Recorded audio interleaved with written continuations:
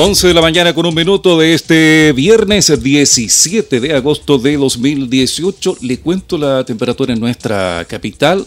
Nos habíamos acostumbrados con temperaturas sobre 22. 12.6 a esta hora en Santiago, 74% la humedad ambiental. Esperamos 20 de máxima hoy. Para mañana, chubascos durante la madrugada, ojo, 7 y 17. Y para el domingo, 0 grado y 19. Es decir, aquello de que se habían ido a las temperaturas bajas no es tan cierto. No es tan cierto. En Valparaíso, Viña del Mar, quinta región costa, 13 grados, la máxima para hoy, para mañana 11 y 16 y para el domingo 6 y 19 grados. Nos acompaña a esta hora el señor Juan Pablo Román, presidente de Conavicop.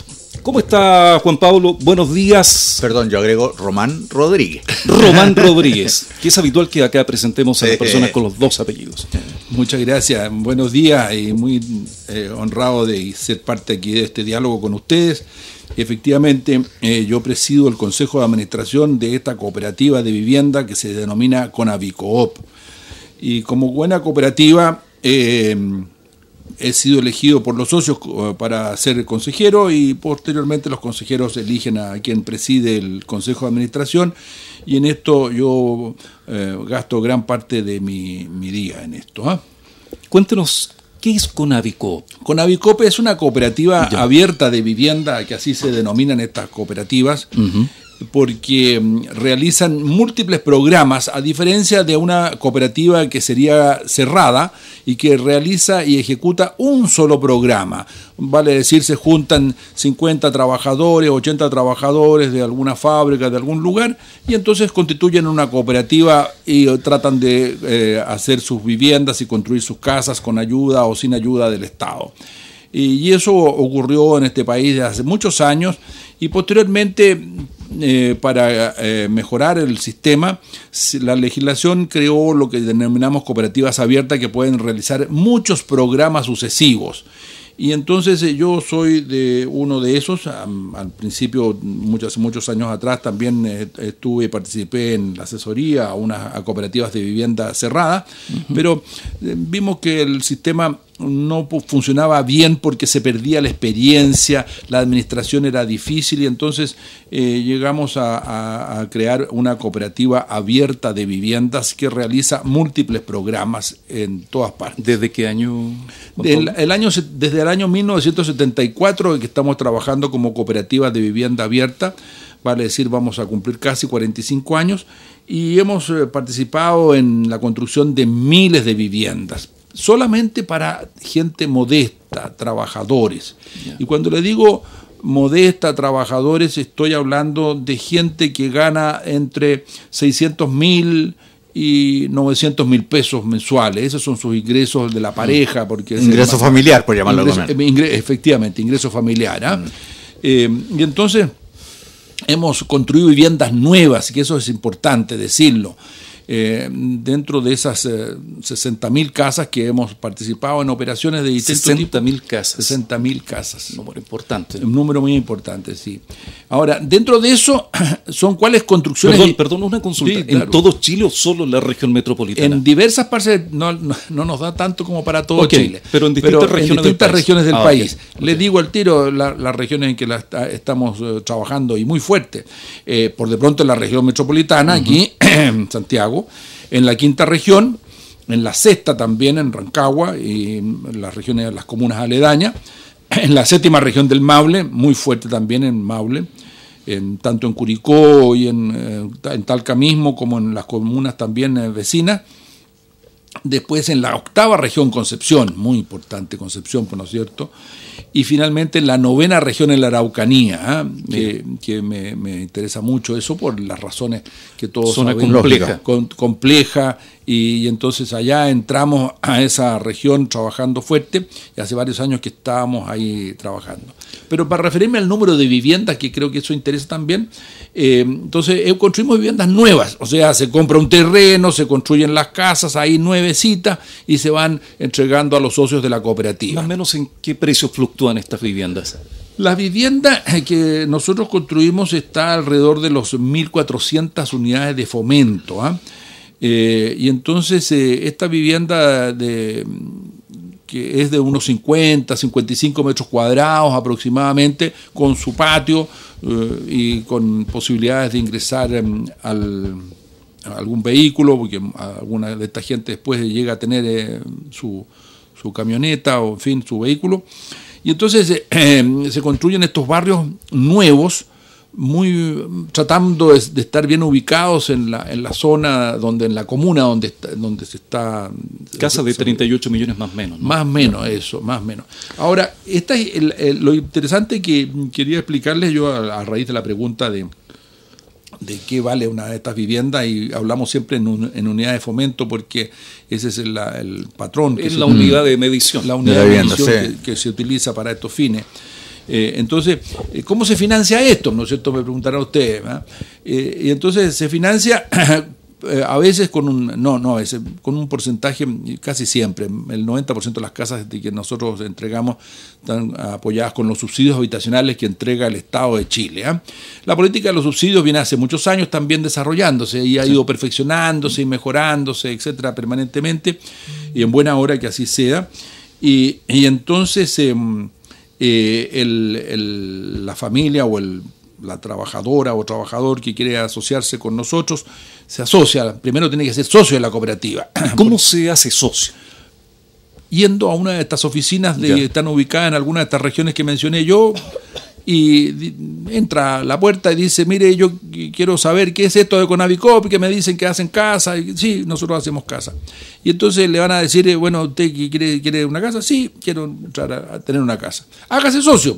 ¿Y qué tengo que hacer para ser socio? Firme este papel que yo soy socio y tiene que pagar una cuota capital. Ah, tengo que pagar una cuota Sí, pues tiene que ser socio para pagar, tiene que ingresar y pagar un capital en la sociedad, en la asociación esta de la cooperativa. ¿Y cuánto vale hacerse socio? Una UF. 27, mil pesos. 27 mil pesos. Ah, ¿y ese es mi capital? Sí, ese es su capital. Y con eso se hace dueño de la cooperativa. ¿Y cuántos somos dueños de la cooperativa? En estos instantes son como menos unos 3 mil socios. Ah, ¿y esos son los dueños? Son los dueños. Ah, ¿y usted, señor Román, no es dueño? No, el señor Román no es dueño. Yo también soy socio, pero puse la platita ahí para ayudar a, formar la cooperativa. Mi actividad, entre paréntesis, soy abogado y en eso me, me he ganado la vida. Bien o mal, pero he estado. Entonces, eh, así yo me hago ¿Cada integrante de esta cooperativa tiene derecho a voto? Pero absolutamente, tiene que eh, ir a las asambleas de socios y en las regiones se hacen primero antes de la Junta General que se hace una vez al año, tiene, se hacen eh, asambleas regionales y ahí entonces los, en la región la gente que está adscrita a un determinado programa eh, mandan delegados a, la, Asamblea General mm. y esos son los que votan y deciden quién van a ser los consejeros y se les da cuenta de los programas, se les da cuenta de la plata que se ha invertido, los terrenos que se están comprando, de las casas que se van a construir, las que se están construyendo y si traen un reclamo, mire que la casa no sé cuánto se quedó mala, bueno, ahí ya pues hay que eh, poner la cara y arreglarle. Ahora, no hay seguros involucrados, me imagino. no, solamente, no, es, más que eso. Existe em, una unidad dentro de la cooperativa que una vez que se entregan las casas, que entre paréntesis, los socios antes de entregar las casas las visitan participan durante todo el proceso ah, de la construcción. Va viendo cómo avanza todo. Lo que llamamos talleres. No solamente cómo avanza la construcción, ¿Qué es lo que es el mutuo hipotecario? Esta palabra tan extraña, ah. mutuo hipotecario. ¿Por qué la va a saber una persona que no ha estado en la universidad, pues, ¿no es cierto? Mm. Entonces, ahí hay que eh, enseñarle qué es lo que es un mutuo hipotecario, porque él va a vivir pagando un dividendo hipotecario durante 20 años de su vida. Pues. Y tiene que saber, pues, ¿no es cierto? Si acaso tiene seguro de gravamen. ¿Qué es lo que es el seguro de gravamen? Ahora, la casa tiene problemas técnicos, ¿no es cierto? Eh, bueno, ¿cómo se maneja esta, esta construcción? Eh, ¿Qué es lo que pasa si acaso se echa a perder el califón? Mm. Eh, todo ese tipo de cosas. Si hay una filtración, por ejemplo. Una filtración, mm. todas esas cosas. Entonces, esos son los... Dicen, bueno, fundamentalmente lo que se enseña es qué es lo que es una comunidad cooperativa. Porque la gente va a ir a vivir a un barrio. Y en ese barrio tienen que ser todos conocidos. Y entonces... Eh, Algo que se perdió en Chile, ¿eh? la vida de barrio. Aquí pretendemos ganarla. Y porque usted cuando viera nuestra, nuestros conjuntos habitacionales, hay una placita, depende del porte del, del, mm. del proyecto, del proyecto hay dos, tres placitas, sus juegos infantiles, en las mamás ahí pueden ir a y mirar. ¿Multicanchas, por ejemplo? No tanto como eso, pero pequeñas canchas así de, para que los niños hagan un baby fútbol Perfecto. y, y los, y los mayores en el verano, en la noche, ahí, en fin, puedan ir a, a Una pichanguita. una pichanguita, ¿no es cierto? Y después tomar sus cervezas. eh, cuidadosamente porque de las casas los están mirando ¿ah? La, la- la cancha está metida en medio de la, de la, de la vivienda entonces Se tienen que meter a las casas a tomar la, la cervecita. Sí, porque- más- porque más si seguro. no- Señor Román, por curiosidad, eh, ¿cuál fue el primer proyecto que ustedes tuvieron hace 45 años, me dijo? Pero sí, es que ya no, no me acuerdo, yo creo. Ya. Debe haber estado en Ñuñoa. En Ñuñoa hicimos uno así, ¿ah? Pero hoy día sería imposible hacer uno de esos. ¿ah? y esos proyectos No, actualmente pero, pero, perdón, pero ahora, ahora me recordé porque eh, me acordé. También hicimos en Calera de Tango. Calera de tango. En Calera de Tango hicimos uno grande. Y, y para allá, para mm, Jahuel, también hicimos otro. Ah, En Algarrobo. Ah, en Algarrobo, claro. Mire, qué lindo Claro, Algarrobo, en Algarrobo precioso hicimos un, Algarrobo. un proyecto que se llama Estela Maris, que está bien subiendo, pero hoy día en Algarrobo este proyecto vale, no sé, estupendo, porque Claro. está metido en la época en que lo hicimos, era una cosa mm, muy difícil de hacer, eh, la- la- para llegar agua potable para allá, Mm. costó un mundo, y qué sé yo qué, en fin, eso fue los, los primeros proyectos, pero hay, hay otros ahí en, en- en- en, eh, que llamamos País de Gales, en, Villa Alemana. Villa Alemana, sí, ese era grande. Y puede parecer obvia la, la pregunta y la respuesta, pero ha cambiado mucho la construcción desde ese tiempo ahora. No, fíjese que eh, no. eh, es decir, estamos tratando de reemplazar el ladrillo por eh, muros de hormigón. Es más eh, resistente, es mejor, es más rápido, pero el costo es más o menos lo mismo. Lo que pasa es que el ladrillito, poner un ladrillo sobre otro, tú requieres albañiles y que sean especializados, en fin, y la mano de obra en esa materia está escaseando, o no hay muchos maestros que se dediquen a eso, entonces se- es más fácil hacerlo con, con hormigón armado. ¿ah?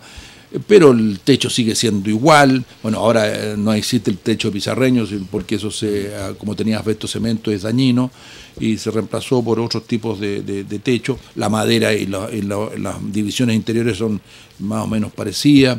Algo ha progresado la técnica de la construcción, por los pisos también. Por lógica. Por lógica. Juan Pablo, Eh, volvamos al inicio. Ya, la persona paga los 27 mil pesos y es Ingreso, socio, socio de la cooperativa. de, de esta cooperativa. ¿Qué viene en más para este socio si quiere postular a una vivienda? Bueno, y como al ingresar se le hace una, la persona nos explica su situación social y económica, y, entonces ahí eh, lo que ¿Hay requisitos, por ejemplo, de renta? lo que le estoy diciendo, la- una renta de 600 mil pesos.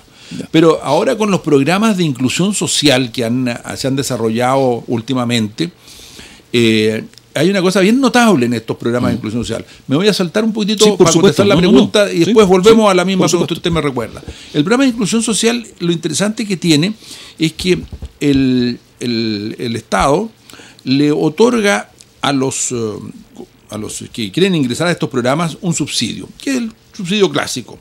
Pero lo aumenta, lo incrementa, si acaso en el programa se incluye gente que se llama, le, le ponemos este adjetivo, vulnerable. O sea, que yo diría que es un- una persona muy modesta, sus ingresos son inestables, no es, no es un sujeto de crédito hipotecario. En cambio, el otro es sujeto de crédito hipotecario. Va a tener que contratar un crédito hipotecario para adquirir la, la vivienda. Entonces, la- estos mil, las 1.400 unidades de fomento que yo le decía a usted que es el valor de la vivienda, va a tener que contratar un crédito. ¿Cómo conformamos ese valor de las 1.400 vi- de los 1.400 unidades de fomento? Primero, tiene que haber un ahorro del socio. Y el socio tendrá que ahorrar 30, 40 unidades de fomento o hasta 80 unidades de fomento según el tipo de vivienda que quiera llegar a alcanzar. Ahora, ese es el ahorro del socio. Y ese ahorro lo hace en la cooperativa.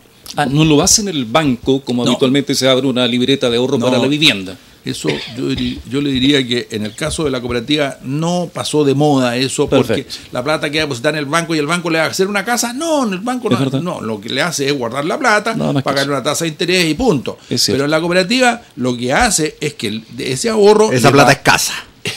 usted lo ha dicho con todas sus letras, muy bien dicho. Eh, es una casa. Entonces, eh, la persona no tiene por qué llegar con el millón de pesos al tiro, con, no, va ahorrando 30, 40, 50 mil pesos mensuales. De a sus posibilidades. A sus posibilidades y, se va a demorar todo lo que sea necesario, pero va a estar dentro de la cooperativa. No hay un plazo perentorio. No tiene un plazo perentorio y entonces la persona va a ir eligiendo a qué programa habitacional se va a adscribir ah, muy bien. De, de, los programas que la cooperativa va desarrollando. Y entonces eh, lo que importa ahí es cómo va a obtener un subsidio habitacional. Y el subsidio habitacional es muy importante. ¿Por qué obtenemos subsidio en el fondo? Mm. ¿Por qué el Estado nos regala plata a, a estos socios? Porque no alcanza su ingreso familiar para comprarse una casa. Esa es la verdad de las verdades. Entonces, el Estado ayuda al ciudadano a obtener esta casa con este subsidio habitacional, que puede llegar a cifras de, de 470 unidades de fomento. Eso significa 13 millones de pesos o 14 millones de pesos, en fin, pueden ser una cifra importante. Entonces, la cooperativa se encarga de ayudar, de guiar, de, colaborar, de estar al lado del socio, asistirlo para obtener este subsidio. Entonces, todo ese tramiteo de papeles y de antecedentes lo va haciendo la cooperativa con el socio al lado. Entonces se obtiene este subsidio habitacional y, entonces, pues, más el crédito hipotecario, o sea, tenemos uno, el ahorro del socio, dos, el subsidio habitacional que le otorga el Estado, y tercero, el crédito hipotecario. Esos tres componentes hacen el valor de la vivienda de las 1.400, los 27, los 30 y tantos, calcula usted. Sí, 38 millones. 38 millones. Eso, con eso ya tenemos el valor de la vivienda. Y al tener el valor de la vivienda, sí, entonces el socio ya eh, cuando se construye la casa, ahí está su escritura definitiva. y muchas gracias. puede seguir siendo socio, pero se va feliz con su casa, y con su pareja, y tuvieron muchos hijos, como dice el cuento de la... Y una vez que ya eh, tienen la vivienda, eh, ¿es necesario permanecer como socio? No, no, necesariamente. No, necesariamente. ¿Puede optar a otra casa? Eh, no porque no va a poder tener nuevo subsidio. El subsidio habitacional es una sola vez en la vida de cada ciudadano y siempre que cumpla los requisitos de ser una persona de ingresos modestos. O sea, eh, a una persona que gana 3 millones de pesos mensuales, 2 millones de pesos mensuales, no tiene ninguna posibilidad de tener subsidio en esta mm. república, ¿no es cierto? No.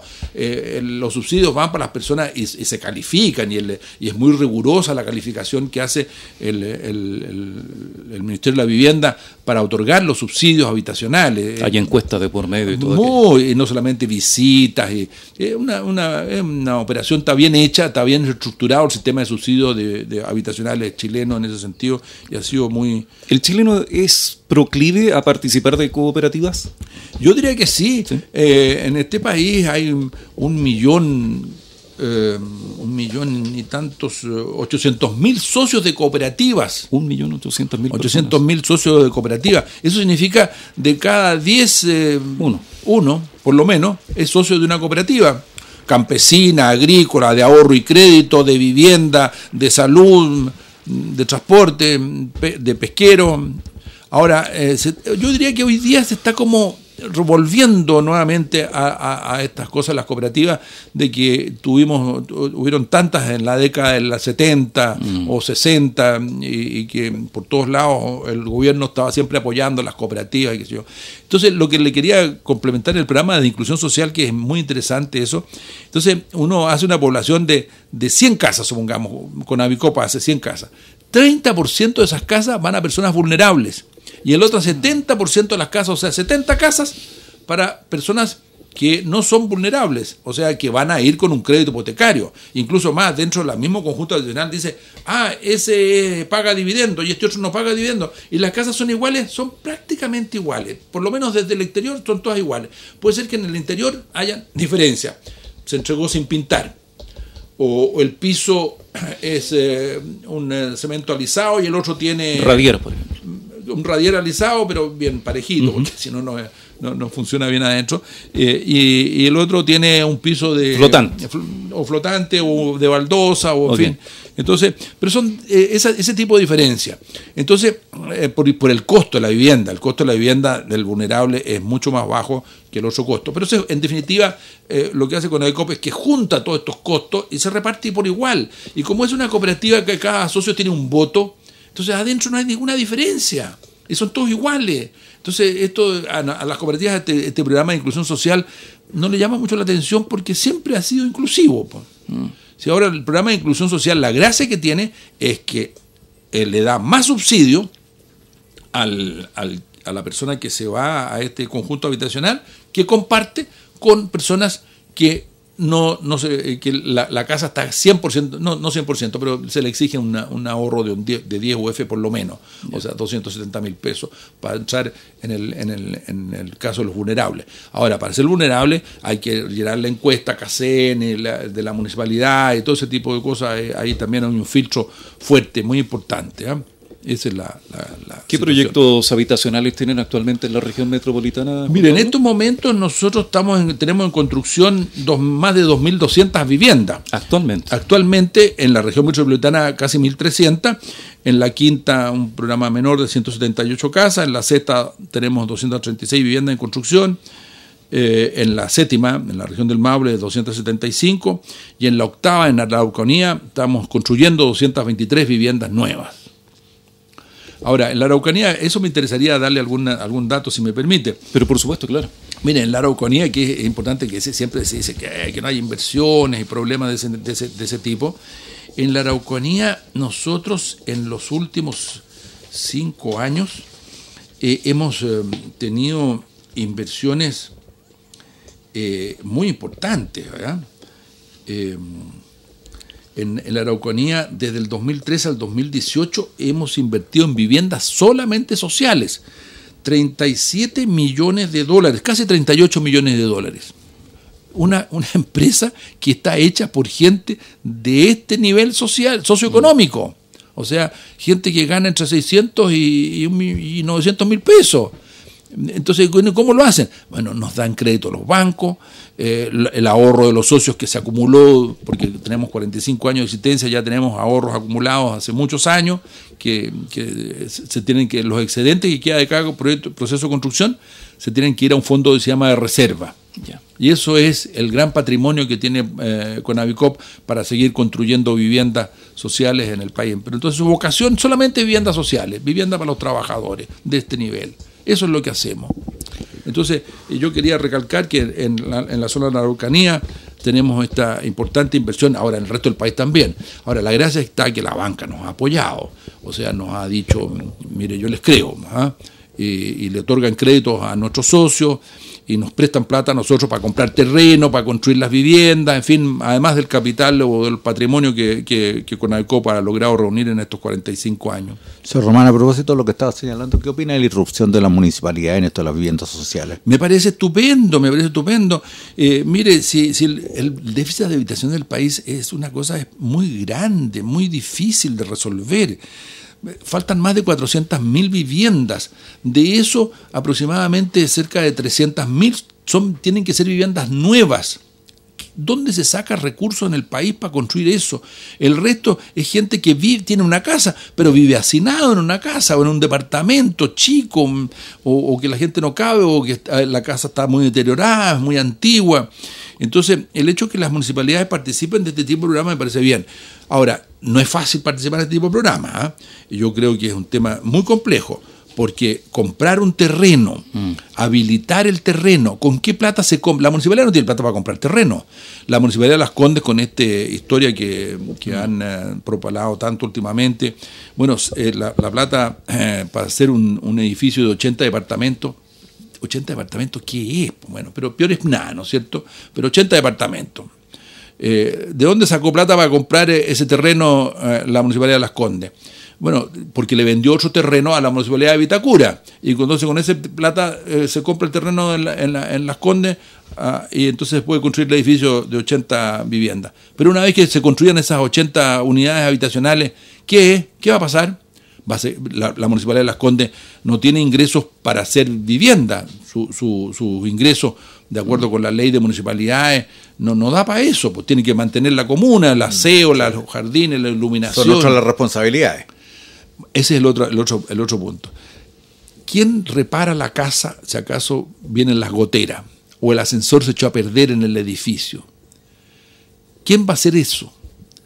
Entonces, eh, si el, tema de, construcción es, un tema, hay, que hacer un proyecto habitacional, ingeniería, arquitectura, contratar una empresa constructora, supervigilar que la construcción se realice en tiempo y en forma, que el financiamiento esté cuadrado, que no vaya a producirse un déficit.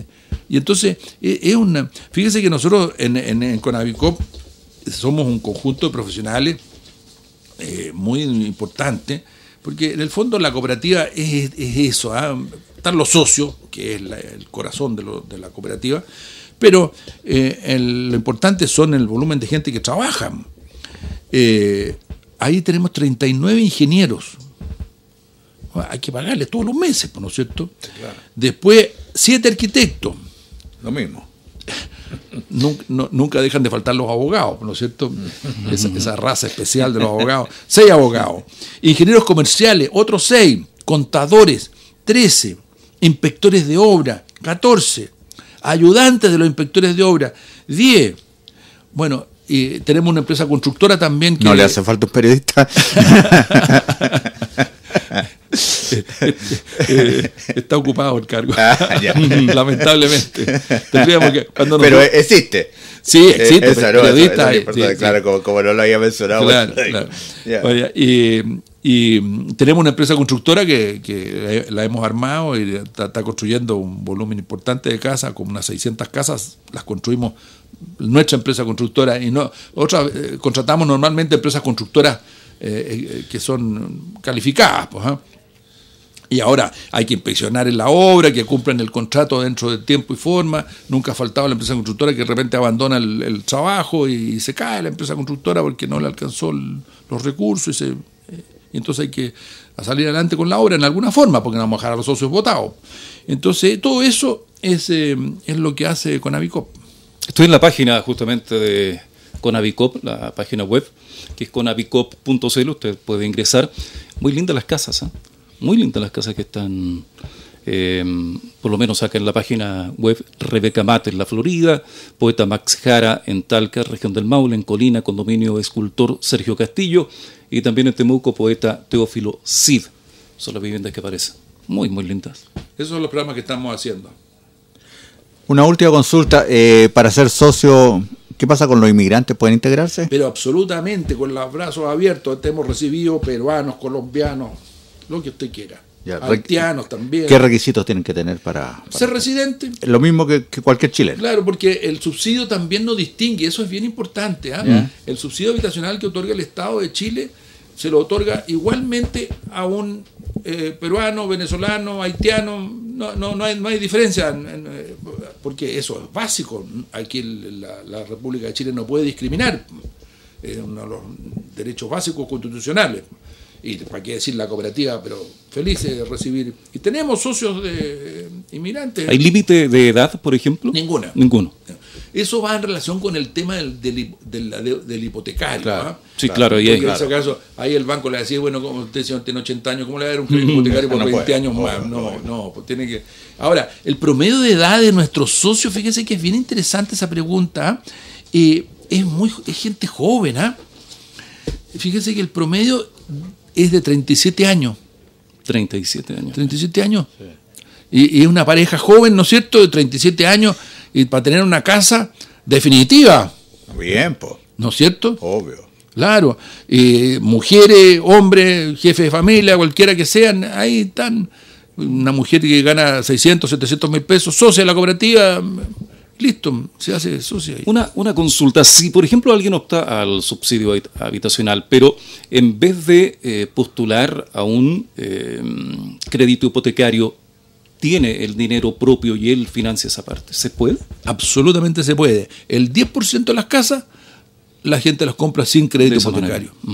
Y el 90% restante va con crédito hipotecario, con subsidio, con todo esto que les he contado que es un tanto complejo, pero que yo, yo, lo he encontrado bastante eh, fácil de entender. Sí, no, absolutamente. Ahora, si acaso, eh, lo importante es la persona se acerca a las oficinas de, de, Conavicop en estos lugares, en cualquier parte. Ese, es el tema justamente le iba a preguntar para ir terminando la conversación, redondeando. ¿Cómo tiene que hacer un interesado? Hay gente, mucha gente que no está escuchando chuta, aquí está la posibilidad de tener una casa. ¿Cómo tienen que hacerlo? Bueno, paso por paso. Usted acaba de darnos el, sitio, la página. web. Conavicop.cl. Hay un call center 600 586 5500. Aparte están en redes sociales, vale decir, en Facebook y en Twitter. Estaban tuiteando algunas de las frases, Juan Pablo, suyas, las estaban haciendo justamente en Twitter, las estaban replicando. Y viene muy detallado. Eh, ¿Oficinas en Santiago? En Santiago, en la calle Serrano, hay el, la, la salida del metro de la Universidad de Chile, al frente del Ministerio de la Vivienda. Mire, ni más ni menos. ni más ni menos. Ahí tenemos oficinas hace muchísimos años. Y entonces la persona llega ahí y se va a encontrar con las personas que lo atienden, que son todos especialistas, gente que está acostumbrada a esto y lo va a guiar. a todas las consultas. Y, más que eso, lo va a guiar. Lo importante es guiar a esa persona para que llegue a su casa. Porque durante este proceso, que puede demorar un año, dos años, bueno, le pueden pasar muchas cosas a la persona. Oiga, me enfermé, se enfermó mi mamá, no puedo seguir ahorrando. Oiga, eh, fíjese que no voy a poder ahora darme vuelta a esto porque eh, un hijo mío está muy enfermo, así que no voy a seguir. Me, me, me, va a castigar, va, tengo que pagar una multa por salirme, por nada.